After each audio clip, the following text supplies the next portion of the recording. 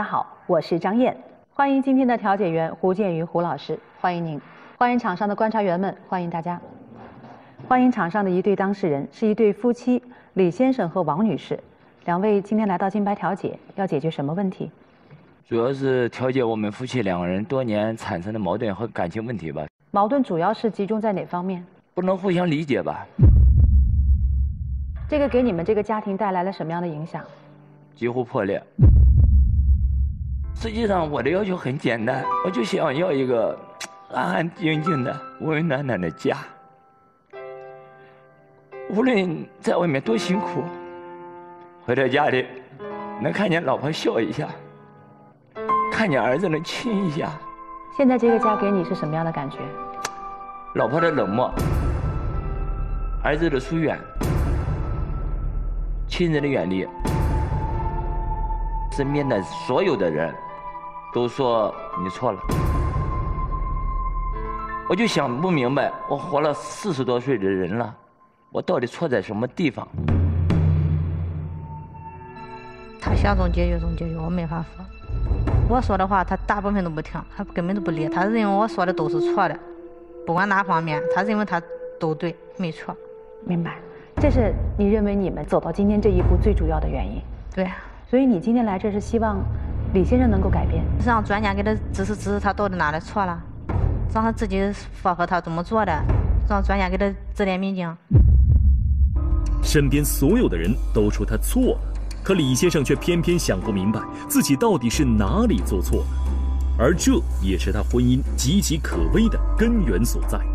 他举例说明，王女士跟他在二婚结合后生了一个儿子，李先生是欣喜若狂，他亲手为儿子制作了一样礼物，可妻子却说他大错特错。因为我们俩都是彼此再婚的家庭，他的出现实际上。给了我第二次生命一种的感觉，他把我救活了，你知道吗？而且第二年呢，又给我生了一个孩子。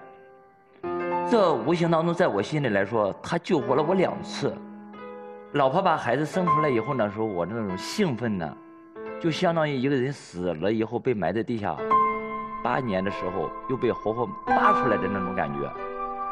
可想而知，当时我有多兴奋，我就想陪老婆多陪一天是一天。从我孩子出生的第一天开始，到孩子今天为止，我给我孩子用手机拍那个视频呢，嗯，我就没断过片儿。我拍的那视频以后呢，我要去网吧，我用电脑呢就把它做成视频，做成 MV，加上音乐，加上字幕，加上这些东西，弄的以后选最好的景。做出最感动的那，有时候我自己看到我自己这个视频，我都哭，你知道吗？感动的哭。我就想给我儿子长大以后留一个最美好的记忆。一个视频我要做三天，因为我是业余的嘛。不干活就去呗。不干活就去网吧了。在家干嘛？在家光让那生气，在家光熬夜。怎么李先生笑得这么开心？他说我弄不务正业，就是说你该干活的时候你干活。不要把精神成天到晚放在这上面，但是我那个一门心思的吧，就没有干活那种心情了。就是说什么吧，处于那种兴奋的状态。王女士，这点你能理解吗？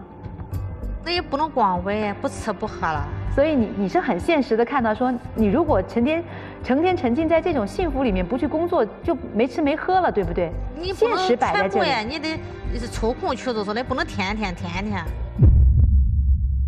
但是他至少真的是，他确实是在帮儿子做这样的一个一份纪念，有一点点感动嘛。虽然也有生气，我知道。那你这种感动或者这一点点认可，你有跟李先生说过吗？告诉他。说过，你不能以这个为主，咱不能以这个为主吧。最后落脚点又是落在你还得去工作嘛。对，那不工作怎么办？我我我又不能工作，我得看孩子。我想问一下李先生，就是王女士的这种话出来，对你来说是一一种什么感觉？委屈吗？委屈，一盆凉水浇下来了，有那种感觉吧？对，全部浇灭了。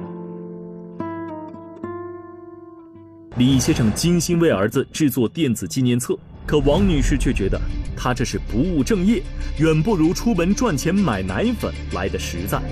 尤其是对于生活拮据的他们来说，养活孩子才是当务之急。可是李先生显然还没理解王女士的心思。过了一段时间，他又为王女士准备了一份表达爱的礼物，可没想到这份礼物却让王女士翻脸了。他一直用的一个破手机，所以我就偷偷的，我想尽办法，我骗他哄他嘛，我给他买了一部手机，我说是移动公司不花钱的，我说免费送的，本身是一个好意，结果他醒个什么事？他给他大姐说，移动公司搞活动了，手机不要钱，快去弄啊！结果他就喊着给他前夫的儿子给他要弄一个，你说我这谎言不捅自破了吗？结果他知道了，回来又给我生气。我说行啊，我是为了给你换部新手机呀，我不是给我自己换，是我是撒了谎了，但是我不是为了想让你换部新手机用吗？结果呢，王女士对你不依不饶吗？对我们俩又打架了。谁先动的手？动手是我先动的，确实我我的脾气也有点火爆嘛，就动手了。王女士，就是你能不能感受到一点点，他是想讨你开心这件事儿，总有一点让你可以肯定的吧？有一点点，还是有的。那至少王女士心里还是领情，只是觉得你不大会过日子。她可以用另一种方式告诉我呀，因为我拼命辛苦挣来的钱，我舍不得吃，我舍不得喝。我为了你，哪怕就撒一个谎而已，但是我是纯粹为了你呀，你没必要这样对我呀，可以说我两句，或者说你不应该这个样，咱没有钱，咱不能这么乱花，你可以告诉我怎么着。他不，他很强硬的，然后就是说你不过日子，你不是个好男人，不想乱花钱，不该花就白花，因为咱催没有，我都实打实用什么说什么，我不想弄那些虚的，没必要，电话能接能打都行。这男人是可能有些。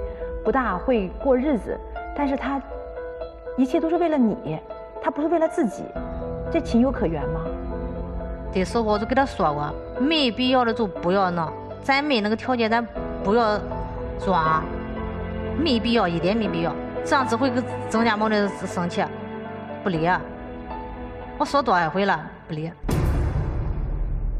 换做一般家庭，送老婆手机大概都会是意外的惊喜。可在王女士这儿，这份浪漫却是浪费，摆明了这个丈夫不会过日子，净干些不切实际的事，这让李先生实在无法理解。过了段时间，恰逢过年，他又憋着劲儿给妻子做了顿大餐，令人没想到，这一顿年夜饭居然成了他们夫妻的分手饭。一七年的时候，我把什么东西我都买来了，对联、菜，我买了好多的菜。我就想着，我一定让我老婆孩子过一个好年。当时的我就嫌他买的东西太多了，因为咱没有钱，就咱两个人，你怎么吃？一个冰箱那么大都放不下。我的现在干鸡，天天都有卖的，你买那么多干嘛？天天吃新鲜的不好吗？非得吃鸡鸭的。你觉得他为什么要买那么多东西？有钱，手上有两个钱了，赶紧花。太显摆，不是一般的显摆。过年了，你花了这么多钱，买了这么多东西，你看你又乱花钱了吧？我说了，你还是不听吧？你问他钱哪来的？他一冬天几乎是没上班。他想说的是，我用的是那个办那个信用卡的钱。是这个情况吗？有我挣的，也有信用卡里面出来的，并不是说全是信用卡的。你知道他怎么说的？我不认识你之前，我不知道什么是信用卡。这话什么意思？就是赖我，是因为要给你花钱，所以才被迫去对，有点这个意思。因为我并没花在我身上啊，我没舍得吃。他越这样，我越生气，让所有人都知道，他钱都花俺身上了。我疼自己的老婆，我要别人知道吗？那是我自己的老婆，我疼的理所当然，我疼的光明正大，我凭什么要让别人去知道？然后呢？就因为我放了一段音乐，刚刚把音乐放开，他抱着孩子就走了。你放了什么音乐？就是像放舞曲啊，很轻快的那种。他放的放的太响了，放到顶了。你你还还有邻居嘞，你不能影响人家呀。我说那你就自己在家拾掇吧，俺俺娘俩出去溜溜去。中午在他家婶子吃的饭，到他给我打电话时候小孩子睡了，俺等小孩子睡醒了就回去。一个劲的接，一个劲的接。然后呢，我就没当回事嘛，我就把对联贴上了，把卫生打扫了，把八个菜我全部做出来了，鱼肉、牛肉、炒菜拼盘，我是自己精心拼的盘也摆上了。我想着我老婆回来一定特别惊喜。但是我从上午开始给他打电话，打到下午四点，他不来，说什么都不来。我说过年了，人家都在家里面待着。我说你过年你老抱着个孩子往外跑啥？他说我不回去，我什么时候心情好了，我什么时候回去。好说硬说，他还是不理，他不理我就骂了嘛。我说你真是混蛋。我说有什么事你回来，咱们面对面的说。什么话都骂了。骂开以后，下午他回来了，他回来以后我们俩就争执嘛。我实在憋不住了，我就上去就打他了一拳，打他的嘴就是流血了。邻居也劝，当时我这正在火上，邻居也劝不住嘛。买的东西太多，摆了一屋，我连下脚的空都没有。摆了一屋子下脚的地方。邻的房子小嘛，我就长脚上去了一下，我得过去。嗯。从那时候开始动的时候，上去就揍我了，我还抱着孩子嘞，说么难听他都骂妈。那我还回来干嘛？我走就是了。又走了。走了多少天？一年半。小孩子是穿的衣服，我都拿走了。从那就生气，从从那没回来。因为一顿饭，一走就是一年半。王女士走了，把孩子也带走了。年三十那天晚上，李先生以泪洗面。我只希望能好好的过一个年。到今天为止，我们俩没在一起过一个春节。我想给我最爱的人过一个春节，我要求并不高。他不回来，抱着孩子走了。你知道那一头一晚上我是怎么熬过来的吗？我整个哭了一夜。你在演，我这马上就走，是吧？他说我在演。李先生悲悲切切，可妻子却觉得他在演戏，而且李先生越是这番情深的作态，他就越是受不了，总觉得丈夫爱得过头，像是作秀。所以在这离开的一年半里，无论李先生怎么求她，王女士都没有回来。这让为爱情深的李先生如何受得了？终于有一天，李先生突发奇想，放出了一个大招，把所有人都给吓坏了。的调解继续进行，我就写了一封遗书吧，就想吓吓他，也不是想说想真死，就到农资公司啊买了一瓶农药，然后喝了一口，当时呢我舌头就整个都填满了嘴了，喉咙就像火烧一样，当时我就害怕了嘛。于是我就不敢再喝了，我就往身上泼嘛。我说就接着就给他打电话，我说我不行了，我说你赶快来吧，我说别管怎么着我见你最后一面吧。当时我的幻想是他会丢下孩子赶快跑过来，然后说别管怎么样你先别死，咱们俩有事怎么解决？这是我幻想的。朋友给他打电话，我听得很清楚，他当时就说了一句：我不去，万一这农药把我和儿子要要死了呢？接着就挂断电话了，再打就不接了。当时那一刻，我是真绝望了。这是假的，我知道是假的，所以说我没去。你，我为什么要去啊？你不担心这次万一真要喝出个三假的？我知道是假的，我就没去。我就让俺爸去，我爸爸你去看看去吧。俺爸顶到医院，给他洗完胃，俺爸爸走的。你即便是知道是假的，最起码来说，夫妻之间的这种感情在这个地方的话，你是不是应该？最起码来表示一个安慰一下，你也能来一下。你不会用别的方式吗？用他能够接受的方式去找他呀？过激的。去啊，我去他家的呀。凌晨四点钟，我跪在门口，我写了一个牌子嘛。嗯。我说爸妈，我错了，老婆孩子回来吧。我说我以后一定改。五点多，我爸爸去开的门，我听五点多钟开的门。嗯。把我接进家去了，他在卧室里面。他就说：“你丢得起人，我们家丢不起，赶快滚！”他认为我在他家里闹，当时他妈就冲出来一鞋底把我抽出来了，说：“什么时候改好了，我女儿什么时候回去，看你的表现。”但是这个改好的期限他没给我规定说你多长时间呢，我就根本就没个希望啊！是你们想让他什么时候回来才回来，而不是说我改好改不好的。俺妈说他。你别弄这些来演戏了。嗯，我说只要能把老婆换回来，我演戏我也得演。他别说这句话，俺妈妈没那么大的气，哪有这样说话的？你是来道歉的，你还是来是干嘛的呀？有错吗？我为了换回我温暖的家，换回我的老婆。谎言能换来吗？我真死了就不叫谎言是吗？没法跟你沟通。错也认了，膝也跪了。李先生是越表现出离不开妻子，王女士就越是起鸡皮疙瘩。难道李先生真是把婚姻当做了他的戏台了？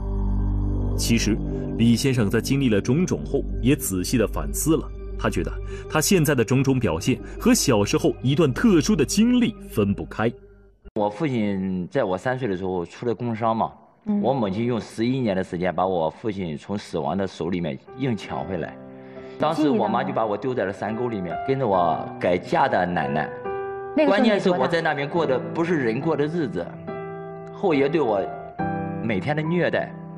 三岁的孩子，我这个牙是被我后爷硬硬提起来摔到地上摔断的。我恨了我妈一辈子，一直恨到我当兵回来。我给我妈说不了三句话，她想弥补我，可是我不忍她呀。她每天就要把饭做好了，等着我回去吃。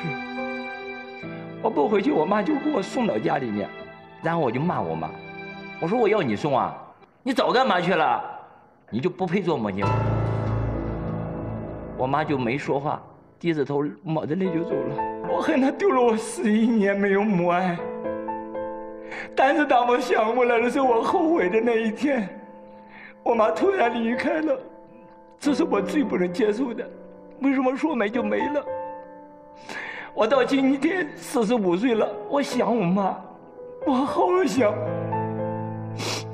我想我妈，我想的我都不想活。我四十五了，我还需要母亲。我好恨我自己，你知道吗？我真的恨我自己。以后脚踏实地，不要想那些偏门。如果真的有如果的话，我不会是今天这个样子。真的，我一定是天底下最好的人。你到现在还没有走出这个？没有。心里还缺点什么呢？母爱，从他身上找。但是她是你老婆，她不是你妈妈呀。但是我希望从她身上能找回我母亲那种感觉呀。李先生曾经无比渴望爱，但他却在这份爱回归时拒绝接受。当他发现那份爱突然间消失，再也无法挽回后，他追悔莫及，痛彻心扉。所以。当他遇到王女士，再一次拥有爱的时候，他无比珍惜，想尽一切方式去表达。但是这为什么会成为众人眼中的错呢？心理咨询师蔡建红给出了答案。李先生，你的生活中确实是有一些盲区，你没有自己独立的一个存在感和价值感，你所有的存在的感觉、美好的活着的感觉，都建立在关系上。妻子爱你的时候，你觉得我活过来了？你爆粗口，你打人，你甚至不惜以死亡威胁的手段，去换回一点他人对你的关注、关心。那这样做的结果，就让事情越变越坏了，关系越来越糟了。当你没有自己独立的人格，没有自己独立的存在感和价值感，你所有的活着的好的感觉都建立在关系上的时候，你的生活。必混乱。人生在世要抓那个主轴，这个主轴不是先去抓那个关系。我们古人说：“皮之不存，毛之焉附？”皮都没有，毛附着在哪呢？你自己独立的人格都没有，关系建立在哪呢？第二个点哦，我看到你的一个盲区就是，你以为你在行为层面为别人付出。你就是为别人好，你会觉得我钱是花在你身上，不是花在我身上啊？你觉得我为你付出，你好歹得领个钱吧，是不是？我们行为层面的付出，究竟在满足谁的需要？如果是满足对方的需要，对方也需要你这么去做，好，那你是为对方付出。如果你是在满足自己内在的一个需要，那其实是在为自己而付出。比如说你为他买手机，可是你其实不需要一个好手机啊。他会觉得他的事过日子更重要啊，是你在联系他，是因为你的内在有一份很强的自怜，你知道吗？所以你看不得他用那个破烂的手机。当你为他买好手机的时候，现象看，是在为他付出，事实上是在满足一个自疼、自爱、自怜的一个需要哦。好，你所有这些误区呢，我们大家都看到，其实跟你早年的生活经历是有关系的哦。三岁的时候，因为父亲工伤，其实相当于父亲就已经没有能力来爱你了。然后母亲所有的精力去照顾父亲了，相当于母亲也不再有精力来爱你了。所以在你人生的早年，确实留下了很多的缺憾在里边。那这个遗憾就转化成现在你变成了一个非理性的、不顾别人是否需要的去抓各种关系，去补偿你早年缺失的爱。我想说的是哈，李先生，你现在其实很需要做的一点，不是说让别人来爱自己，我们可以通过去爱别人，呀，爱妻子、爱孩子、爱身边所有的亲人。不问回报，因为那是在满足一份我对我自己早年缺失爱的一个弥补。当你这样去做的时候，其实你内在那个缺失感就会被慢慢的得到补偿。南方，大年三十的时候，对吧？尽管你是在想，我要买许许多多的好菜，让我心爱的女人过一个好年。八年了，我没有过一个好年，这个年我要把它过好。你的初衷，你的出发点都是好的，可是你不能吃了这一顿，下一顿怎么办？这个月日子过了，下一个月怎么办？你两袋空空，身上没有钱，人要生存需要什么？度假过日子，柴米油盐酱醋茶，明天在哪里？这就让你的妻子忐忑。你这个妻子，她是踏踏实实过日子的好女人，因为她选择了你，她无怨无悔。我觉得有时候，一个男人一定要懂得，我自己要的，不见得一定是他要的，一定要学会换位，你知道吗？你总是沉浸在自己的世界里，这点你一定要改，你一定要记住哈，你来金牌条件，要什么？要解决什么？你要有数。你在生活中，妻子要什么？我自己要什么？自己也要有数。这要有数两个字在你心里，不小了。要脚踏实地，好吗？男人有男人的责任，丈夫有丈夫的担当。王女士，我就觉得，是不是有一点？累觉无爱，然后有一种破罐子破摔的这样的一种感觉，然后呢，你处事的方式和你的丈夫之间的这种交流方式，用一个字来形容，那就是躲，就好像躲就是你的一种保护色，就是你看似无情，但是我们依然也能够感觉得到，你有你温情的一面啊，比如说你的丈夫呢，服毒嘛，对吧？去威胁你。然后你你电话说啊没关系我不管他，然后呢你给你的父亲打电话，让你的父亲到家里去看看他到底有没有事儿，对吧？这其实也说明了你对他并不是不管不顾，你对他只是换了一种方式的关心而已，这是我们解读到的。在这个过程当中，你也比较能够吃苦耐劳。对吧？比如说，我不需要这个新的手机啊，我只需要踏踏实实的过日子。其实这种想过日子、想要把这个日子给经营好，这种呃勤俭节约的这样的一种品质，其实也是让我们所感动的啊。但是你的一个唯一的问题就是，少了一点语言上面的交流，少了一点肢体上的这种热量的传递，你就会让别人对你产生误解。我们为什么会说能够解读到这些？是因为我们接触了很多的案例。但是你的丈夫他不是，对吧？你就是他的天，你就是他的地。你这个时候你对他不管不问的话，那么他的天和地就塌下去了。所以，能否在让自己的状态比较好的情况之下，能够学会一点点语言的表达？我们不吝语言的赞美，这样是不是就会更好一些呢？当你。赞美之词够了，然后那种对于丈夫的这种欣赏够了的时候，我相信你的丈夫也一定有非常大的干劲，去为这个家里去做更多的努力，为这个家里去挡风遮雨。我看好你们这一对，好吗？观察员纷纷给出建议，而调解员胡建云却发现了一个他感兴趣的东西，那是李先生曾经写下的一份家庭事务管理规定，上面写着。丈夫有义务哄老婆开心，否则罚款一百元；丈夫抽烟，罚款一百元；丈夫不讲个人卫生，罚款一百元等许多有意思的约定。对于这份家庭事务管理书，调解员胡建云将作何评析？我这里看到你们家里面一个很有意思的文件，叫你们夫妻家庭内部事务管理规定。其实啊，从这里面看得出来，就是李先生对这个家呢很多期待，也很想通过自己的付出表现，呃，达到自己内心的一个平衡，满足自己对于家庭的期待和渴望。为什么我会说你这里面充满了期待？因为你考虑的非常全面，看得出应该是你自己写的吧？就是从做家务啊，到什么抽烟呐、个人卫生呀，还有在外面跟别人交往呀，你很希望通过各方面的良好表现来换取妻子的一片心，哎，换取一个幸福的家庭。所以就像你说的，心是好的。但是呢，这里面只有一颗好心。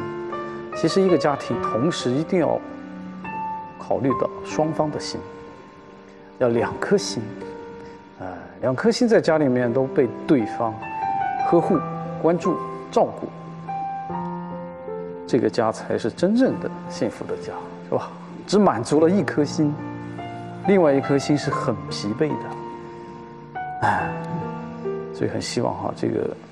把这个里面这一种好心发扬下去，但是方法要改变过来，是吧？所以最后啊，给李先生提几个建议，好不好？第一，学会清空历史，清空不是遗忘，腾出空间给未来。第二个，学会关注对方，而不仅仅是自己的想法和祈求。每一个人在爱的面前都有祈求，要互相关注。好，哎，第三就是成熟一点，稳定一点。生气很正常，矛盾很正常，但不能让别人看不懂。你生气，对方能懂，他就能够包容；他看不懂，他就没法忍受。他对你的要求并不高，你学会。从他的世界出发，哎，然后找到他的需求，就可以点亮他的心，好不好？他想要一个苹果，而你却给了他一整箱梨，你被自己感动得五体投地，却忘了他要的仅仅只是一个苹果而已。学会读懂对方真正需要的是什么，感情才能更加融洽升温。密室环节随即展开。在密室里，李先生也意识到自己的爱表达的过分了些，可是他的反省又带了一个新的麻烦，他开始对自我人品产生了怀疑。我就想知道，是不是说我这人真的无药可救，还是说我特别真的就混蛋，还压根就不是个男人？我真的很想明确这一点，到底是我老婆还值不值得跟我在一块过？所谓盲区是我们没有认识到的那个点，可是当我们认识到以后，不就翻牌吗？我们人很容易陷入一个盲点，就是觉得当下的情绪就是对我整个人的一个态度。哈，比如说他当下是抗拒，可是当你们关系好的时候就不是这样啊，对不？不要贸然受情绪环境影响而去贬低感情中积极的因素，对自我应保持信心。此外，李先生对于因自己的性格缺憾影响到今天的感情生活，觉得非常委屈。我的理想当中就是我要对我身边每个人好，嗯，很好。但是我的愿望不是错的呀，因为过度的缺失的这种爱，造就了我的性格就这个样啊。对的，但是不能说就这样，我这人就说不不脚踏实地啊，或者我我幻想啊，那能怪我吗？我们不能说因为我有那么一段早年生活在那里，然后我现在就。然后就躺在那早年生活里不改变吗？我相信你也不是这个意思，对不？我们的人生是要我们自己来负责的。就说虽然早年有缺失，但早年的缺失是可以通过自己来弥补的。比如你爱你的儿子，爱你的老婆，都可以的。因为你通过爱别人，可以让自己有那种爱的感觉。对，缺憾有时是一种智慧。李先生内心的缺憾，也可以通过往后对亲人的包容和陪伴，铸就更加温馨有爱的家庭关系。此时，妻子王女士正在密室另一边同廖启玉进行交流。因为俺给他发，他说不承认，他没有权。你一定要记住，千万不要讲你终于认错了，不是这样的。我不发。你你要学会这样讲话。夫妻之间的这种相处模式，都是要相互的，爱是相互的，关心包容一些都是要相互的。以前我总认为是丈夫的错，丈夫也认为是我的错。今天我明白了，你千万不要这么讲。今天你终于认错了，这句话又又成炸弹了，他不能接受。改变方式，你愿意吗？夫妻之间有时候也需要互相给点面子和台阶，相互尊重，懂得自我反省的关系才能融洽长久。此时，密室另一边的李先生向蔡建红表达了一个他内心最在意的点。渴望妻子能做调整。现在我唯独接受不了的就是我爱他们的时候，就是我是真心的，我真真切切是真心的。对的，对的。但他们老是说我在演戏。因为你给到他的东西啊，他觉得不需要。就像你给他换个手机啊，他不需要的时候，他就会觉得你是不是在装？因为他理解不到你，对吧？我们都知道你是真的。我们尽可能给到别人所需要的那个爱，就是说有一个稳定的收入比换一个手机更重要。我明白，我能听明白。你能听明白啊？我能听明白。所以咱们就去做他认为更重要的事情。也许李先生只有领悟到妻子想要的生活不是浪漫和惊喜，而是普通和安稳。他才不会再有这种付出真心被踩在脚下的感觉。带着他的想法，蔡建红去到了王女士身边。确实是他做很多事情，其实跟他的经历有关系。就我好想跟一个人，就好想跟你有很好很好的关系。他内心这个渴望很强烈，嗯，跟他的成长有关系。但是因为你受不了他的很多的行为，对吧？你要搞清楚这两件事情啊。演就是我做给你看，我心里不想这么做，这叫演，对不对？他心里一定是想这么做，一定不是演。这个我作为一个旁观者，我可以这么担保。只是说他这么做呢，有他内在的自我成长的一个需求在里边。他这个东西他人家也看不到，你知道吗？所以作为我们来说，我们就接受啊，至少不去反感他呀，是吧？嗯。学会接受丈夫的好意和真心，用爱去治愈他不快的童年，这样家庭才能一步步向善向好。密室结束后，回到调解现场，夫妻俩会有什么改变呢？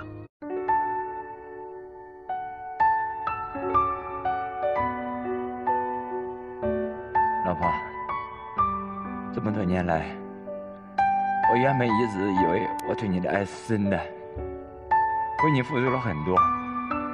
原本能以为你会理解，但是经过今天金牌调解，我才明白，原来不是我的心是错的，而是我的方法用错了，没有能和你好好的商量。几位老师说的很对，爱是彼此互相尊重的。从今天开始，我一定会好好的尊重你，好好爱这个家。什么事都和你好好的商量。以后还是那句话，我挣钱，你管账，家里全部都你负责任。